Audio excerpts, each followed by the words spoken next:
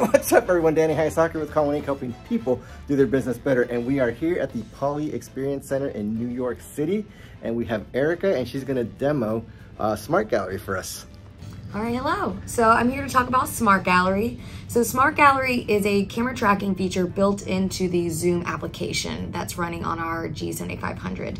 So if you take a look at the monitor, it'll split it up into three images. So we have a group view of everyone in the room. We have a view of the active speaker, which is me. And then we have a view of the previous speaker, which was Danny. So again, we split it up into where you can see everyone in the room, but it does focus on two individuals that may be taking over the conversation. All right, and then we also have another Erica in the space, so she starts talking. Hello, yes. Welcome, Danny. Glad to have you out here. Uh, we've had a busy week here, so um, yeah, we're looking forward to it. Nice. All right, so there you go. There's a quick demonstration of Smart Gallery live from the Poly New York uh, Experience Center. Stay tuned for more content.